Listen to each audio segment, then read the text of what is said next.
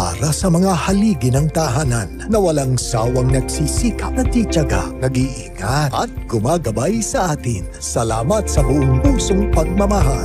Happy Father's Day mula sa GMA. Isang pagbati mula sa mga sumusunod.